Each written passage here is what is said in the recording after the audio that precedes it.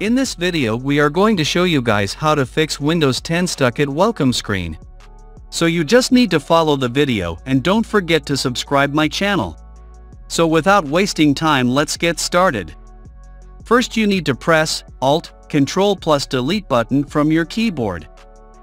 Now you have to hold the Shift key from your keyboard and click on right side corner Restart button. Now you will get some option over there. Here, select Troubleshoot. Now click on second option which is called Advanced option.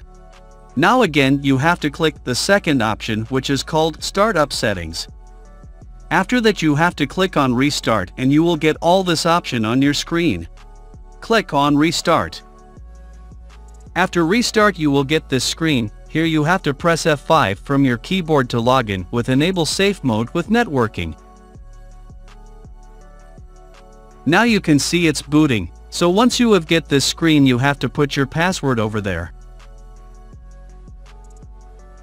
Now what you have to do after get this screen you have to go to Start menu. Type over there CMD and open command prompts on your computer.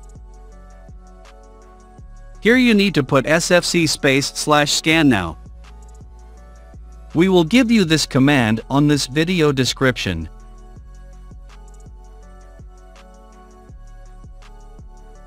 So after scan this SFC, you have to restart your computer. Click on restart and now it will fix your problem. Hope this small video will really help for you and please don't forget to click on the subscribe button. Thank you.